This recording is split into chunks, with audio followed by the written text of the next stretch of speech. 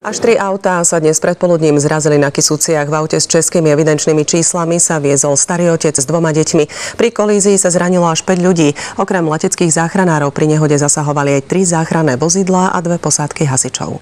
Po policajnej razii odviedli policajti v putách otca so synom. Pri ranejšom zákroku v obci Čeláre zasahovali aj kukláči. Išlo o podozrenie z nedovoleného ozbrojovania. Polícia zatiaľ podrobnejšie informácie neposkytla.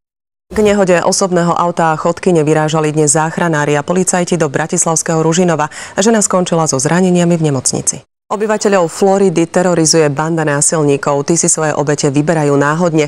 Napadli už aj tehotnú ženu, ktorá po surovom útoku skončila v nemocnici. Na ceste sa chcela vyhnúť mačke, napokon s autom narazila do voditeľ. 29-ročná vodička zišla mimo cesty a skončila v hlbokom zráze, pár metrov od železničnej trate.